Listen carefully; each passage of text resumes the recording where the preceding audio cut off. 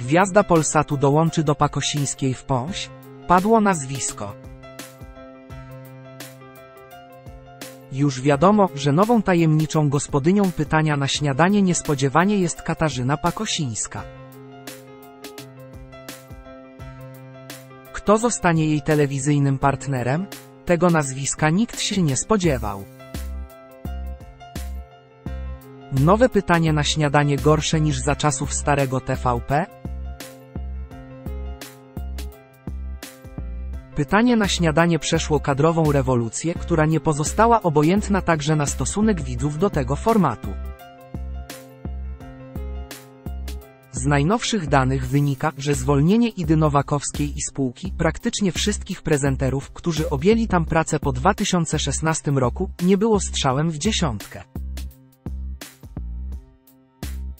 Poranne pasmo TVP od stycznia do lutego 2024 roku w porównaniu do poprzedniego według portalu Press straciło widzów. Program oglądało aż o 77 tysięcy odbiorców mniej, co w skali kilkusettysięcznej widowni jest sporym spadkiem. Parą, która gromadzi przed telewizorami największe audytorium, jest oceniony przez eksperta odmowy ciała duetu Katarzyny Dowbor z Filipem Antonowiczem. Okazuje się jednak, że wkrótce koszulkę liderów może odebrać im ktoś zupełnie inny. Z kim w szranki o miano ulubionej pary stanie Katarzyna Pakosińska? Katarzyna Pakosińska może uratować pytanie na śniadanie. Katarzyny Pakosińskiej nie trzeba nikomu przedstawiać.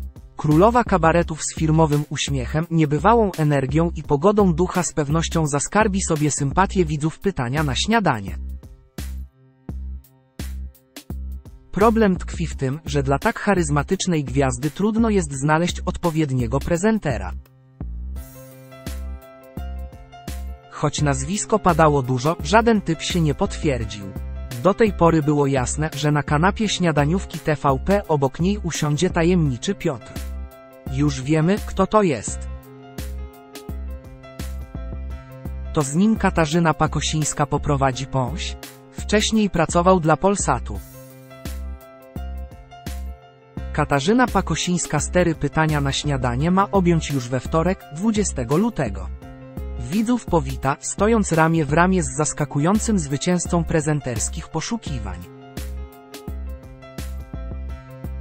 To dziennikarz i aktor, który jeszcze niedawno pracował dla Polsat News i prowadził tam poranek, a ma za sobą także epizodyczne role w telenowelach M jak Miłość i Samo Życie.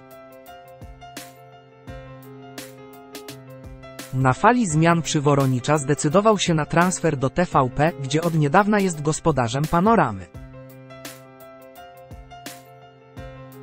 Wiele wskazuje na to, że podobnie jak wcześniej Tomasz Wolny, będzie zatem dzielił występy w serwisie informacyjnym z pracą w porannym formacie. Według nieoficjalnych wieści, do których dotarł Pudelek, ekranowym partnerem Katarzyny Pakosińskiej w pytaniu na śniadanie ma zostać Piotr Jędrzejek. Dobry wybór?